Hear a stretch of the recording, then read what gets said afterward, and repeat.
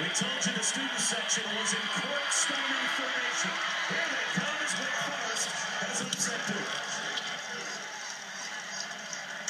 Coming to this game, we said they really needed to protect the basketball. They did that. They needed to scrap and hustle and come up with extra possessions. They were able to dominate the offensive glass. They didn't turn the basketball over, and it was the fight and toughness defensively, creating offensive opportunities for Wake Forest. That was the difference in this game It has been a dismal second half of the season for Wake Forest.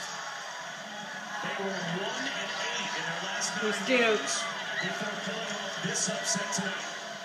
But Demon